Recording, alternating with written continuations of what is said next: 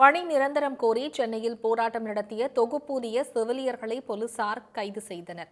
மருத்துவ பணியாளர் தேர்வு வாரியம் மூலம் தேர்வு செய்யப்பட்ட பதிமூன்றாயிரம் செவிலியர்கள் தொகுப்பூதியம் அடிப்படையில் தமிழ்நாடு முழுவதும் அரசு மருத்துவமனைகளில் பணியமர்த்தப்பட்டுள்ளனர்.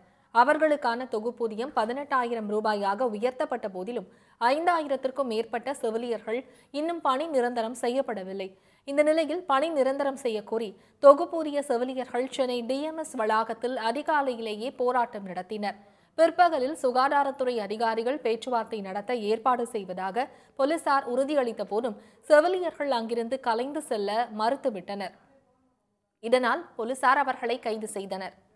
எம்ஆர்பி எக்ஸாம் எழுதி தகுதி தேர்வு மூலம் செலக்ட் ஆகி மெரிட்ல வெரிஃபிகேஷன் சர்டிஃபிகேட் எல்லாமே முடிஞ்சு எந்த டிஎன்பிசி எக்ஸாமும் தொகுப்பூதியத்தில் எடுக்க கிடையாது.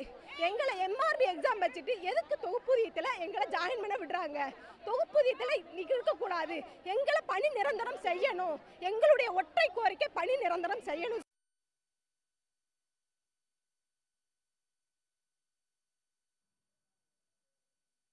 பணி நிரந்தரம் செய்யப்படாததால் மகப்பேறு விடுப்பு அகவிலைப்படி உயர்வு உள்ளிட்ட சலுகைகள் கிடைக்காமல் தவித்து வருவதாக செவிலியர்கள் தெரிவித்தனர். உடனுக்குடன் செய்திகளை தெரிந்து கொள்ள சன் நியூஸ் பெல் ஐக்கான கிளிக் பண்ணுங்க.